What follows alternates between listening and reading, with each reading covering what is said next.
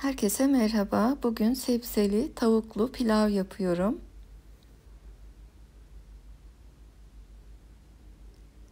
Isınmış zeytinyağına tavuk etlerini ekleyelim.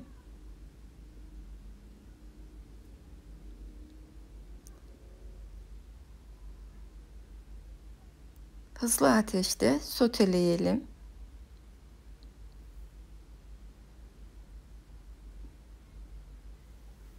Yeşil biber,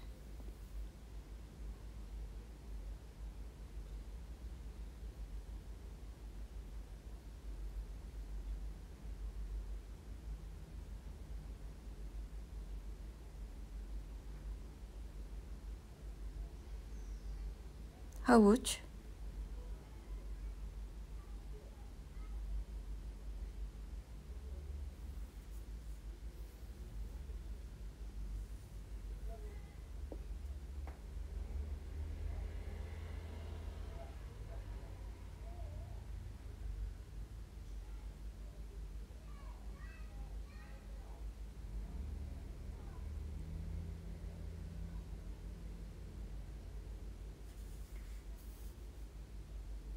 tuz,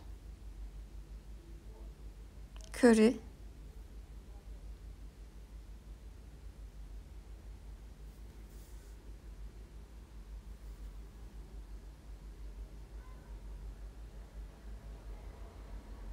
pirinci ekleyelim.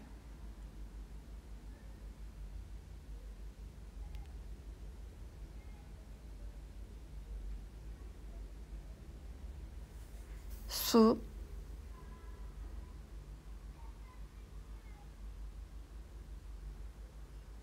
kaynayana kadar hızlı ateşte, daha sonra kısık ateşte pilavı pişirelim.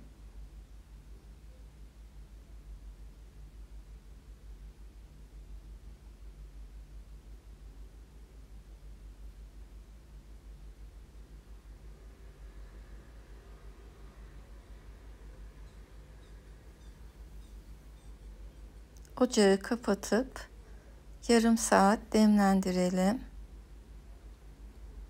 Sepseli tavuklu pilav yemeği hazır. Yapıp deneyeceklere kolay gelsin. Afiyet olsun. Hoşça kalın. İzlediğiniz için teşekkürler. Destek için beğenin, paylaşın, abone olun.